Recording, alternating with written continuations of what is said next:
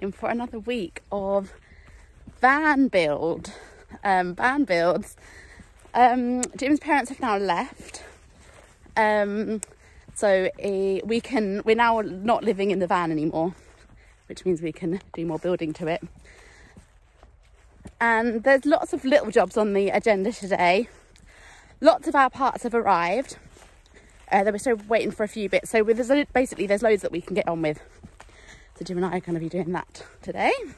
And there's really not long until Ireland at all now. I'm also sorting out lots of vets things and health check COVID type things that we need to do before Ireland. Um, and if any of you are thinking of bringing a dog uh, to Europe, to Ireland, um, then I, will explain those later on in the video um, because there's lots of things to go through and lots of things you need to do. Um, and it's actually quite expensive.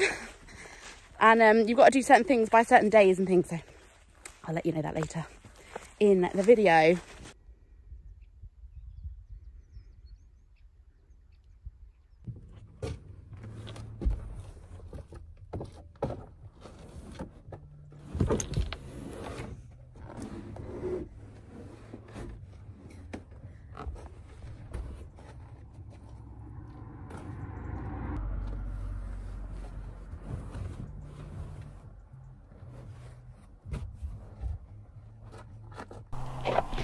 we have just had this. But it's not quite thick enough. So we've bought some two inch memory foam that we are going to cut and put on top of this one just to make it that little bit thicker and comfier. But that means I'm gonna have to reupholster all of these cushions um, which means we get to lose this lovely red Hawaiian fabric. I'll show you what I've opted for instead. Um, to go with the curtains, um, I tie-dyed some more calico, which is exactly what I used for the curtains. In, um, I used a mixture of denim blue and olive green, I think it was. I'll leave the links down below um, literally just soaked them in our shower tray with the dye in it, left it overnight, and then they turned out like that, which um, I think they look really good. so bye bye red, hello green. Let's do this.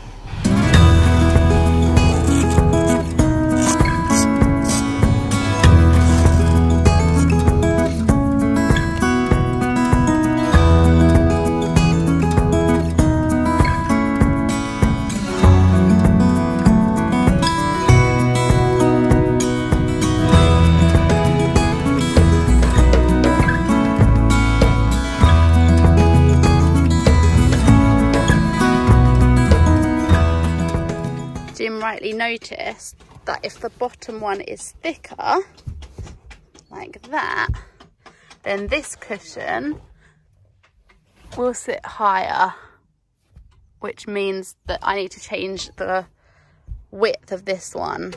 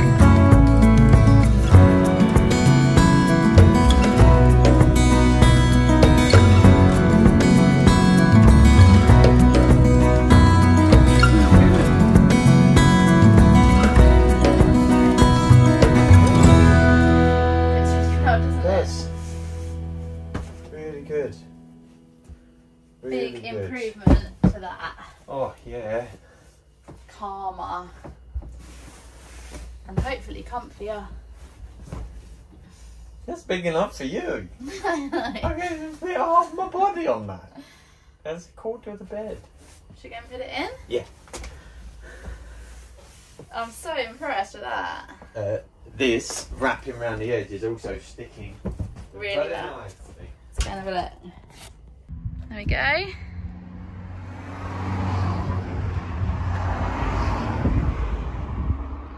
One down.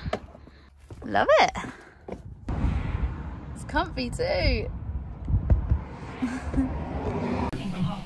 This is slightly bigger than one than two things. So I get some scissors.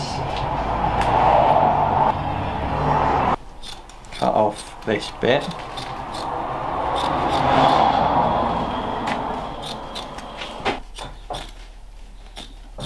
Bugger to cut.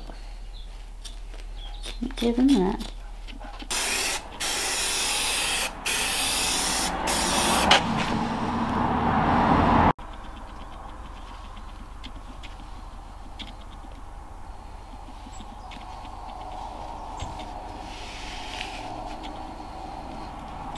Oh, that sticks well.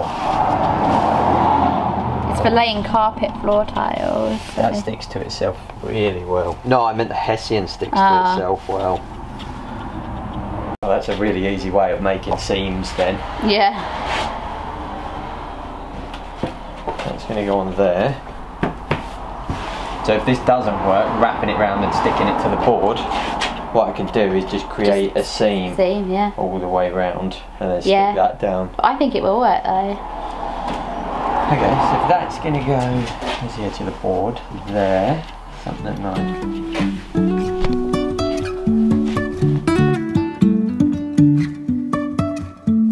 Life is a winding road, no telling where it goes. Driving through days and nights, won't stop for traffic lights. And I, I really wanna know, really wanna know if I will ever figure out where the road goes. Even if I'm falling down, I will keep on searching for my highs. I lost my mind, I will keep on holding my head high. Even if the sky is falling down.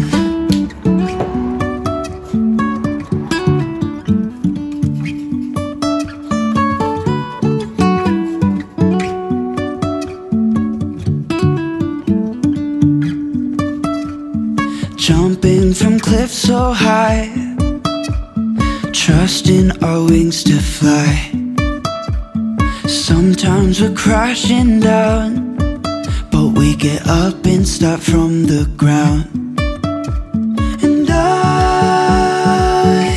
I really wanna know, really wanna know if I will ever figure out where the road goes. Even if I'm falling down, I will keep on searching for my highs. Lost my mind, I will keep on holding my head high. Even if the sky is falling down,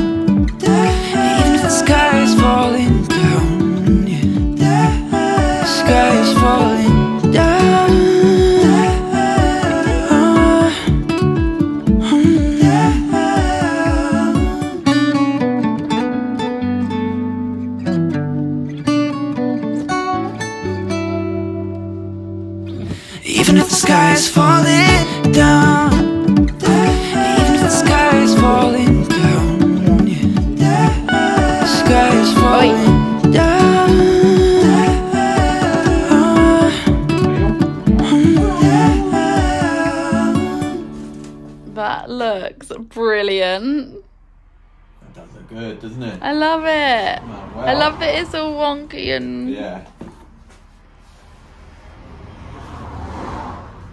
Can we put it up now?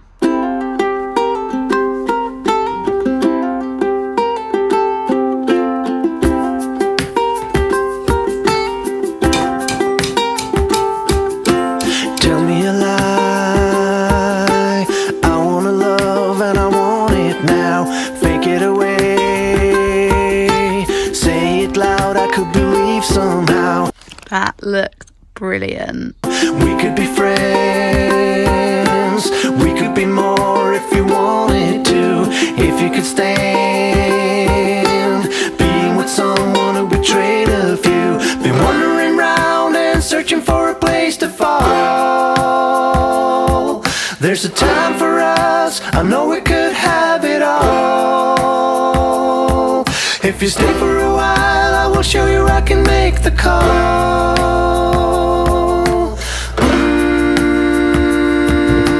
Mm, I know we could have it all.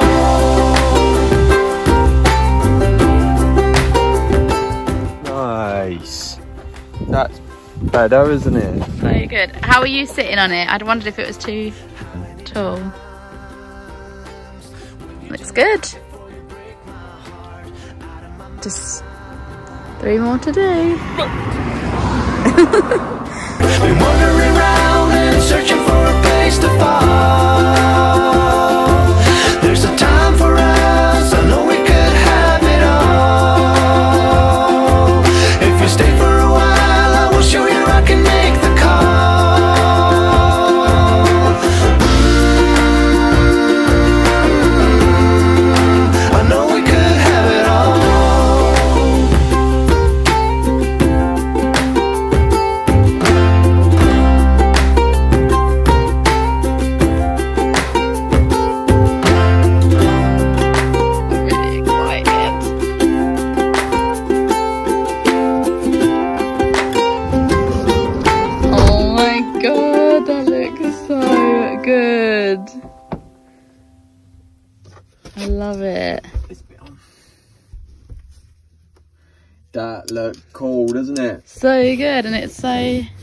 Yeah, that's perfect.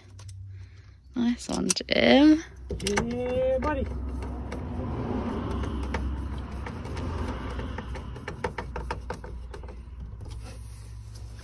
Looks sick. It's sweet, isn't it? Yeah. You can see the little frog really well. Yeah, perfect spot. I actually love it. Yeah, it looks great. Well done, everybody. That was a really good choice. It was.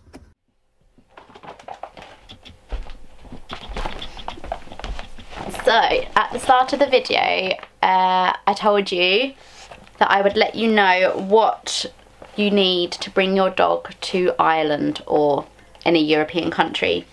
Um, since Brexit happened, there's some slight changes, um, naturally. Also, we've got the pandemic to consider, so there's a few things that you will need.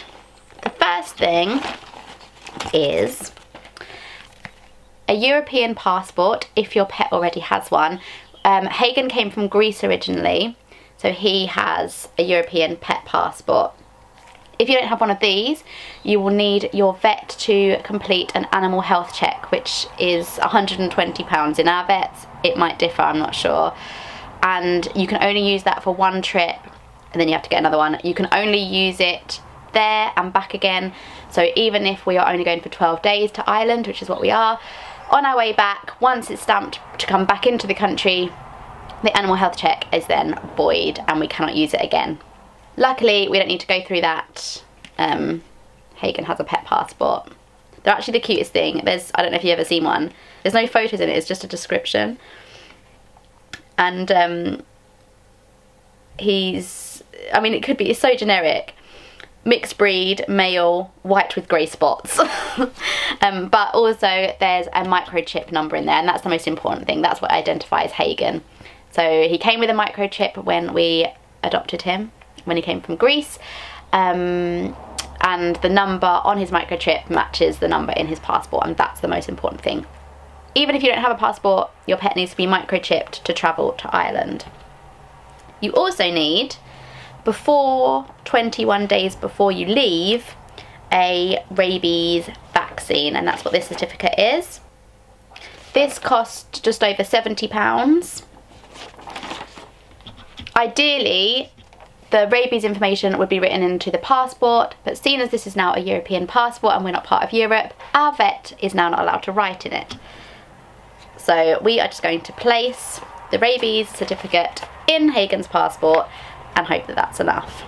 Your dog will also need a tapeworm treatment before 24 hours before you arrive in the new country or but no more than five days. So between five days and 24 hours before you arrive in the new country. And that is it. So yes it could cost over 200 pounds to bring your pet to Europe um, we've made the decision to bring Hagen because one he already had the microchip and passport so we just had to pay the 70 pounds for the vaccine and a tapeworm treatment. I don't know how much that's going to be yet. We haven't got to that point yet. But that's cheaper than keeping him in kennels or getting a dog sitter. Also because he's a rescue I worry that um, it could set him back by putting him in kennels or getting him to stay somewhere else and I want him to join the Irish adventure too. So that's why we've decided to bring him. He's gonna absolutely love it. But at least we know he's all packed and um, all secure and ready to go and there should be no problems. Fingers crossed.